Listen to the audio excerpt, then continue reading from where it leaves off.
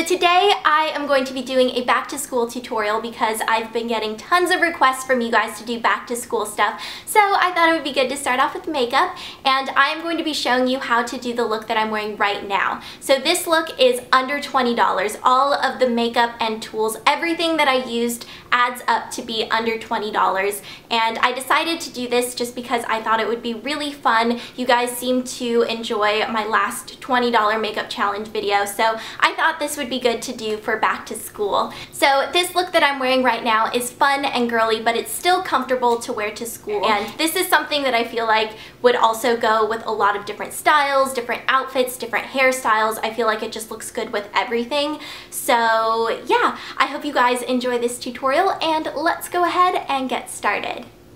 The first thing I'm going to be using is my Essence Cover Stick in the shade Matte Beige. So I'm going to be using this in the place of foundation to cover up hyperpigmentation, blemishes, any kind of discoloration on my face.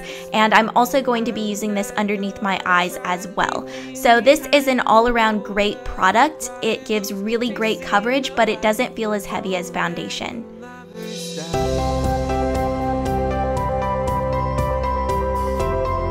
Set the concealer, I'm going to be using my NYC loose powder in the shade Naturally Beige. And this product works especially well for people with oily skin because it helps reduce shine and it also helps prevent makeup meltdown throughout the day. Then I'm going to use my Wet n Wild brow pencil in the shade Mink Brown, and I'm going to use this to fill in my brows and add a little bit of definition.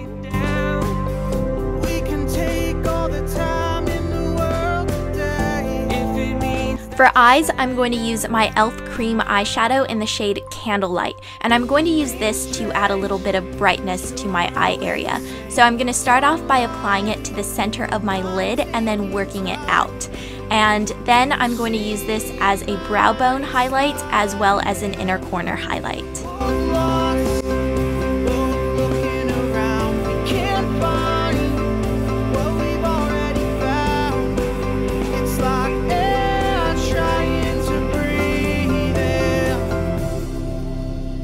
Next, I'm going to be using this eyeliner duo from NYC, and I'm going to start off by using the pencil eyeliner to line the upper inner rim of my eyes. And this is going to help my eyelashes look fuller and thicker.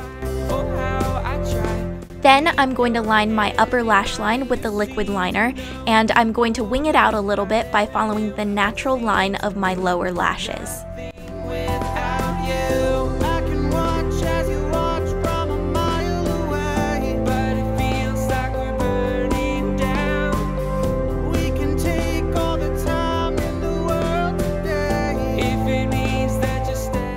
Now it's time to curl my eyelashes with my e.l.f. eyelash curler. For mascara, I'm going to be using All Eyes on Me by Essence, and I'm just going to use this to coat my top lashes. You can go ahead and coat your bottom lashes if you'd like, but I'm just going to stick to my top lashes. For a natural rosy glow, I'm going to be using my e.l.f. blush in Tickled Pink, and I'm also going to be using my e.l.f. angled brush to apply it.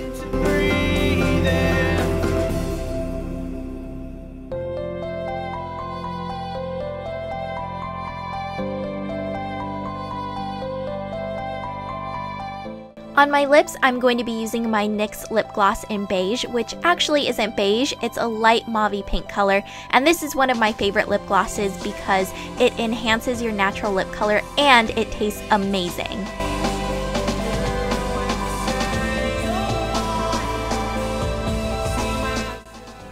Okay, so this is the finished look and I hope you guys enjoyed my tutorial. And be sure to check out my last beauty video which was my outfits of the week that I did while I was in London and Paris. And that basically just shows you guys the outfits that I wore during a week and it also has clips of my trip. So it's kind of like telling a story at the same time. So I will link that video down below and at the end of this video if you guys want to go and watch it. But I think that's going to be it for today. So I hope you all are doing really well and I will see you guys later. Bye! Oh.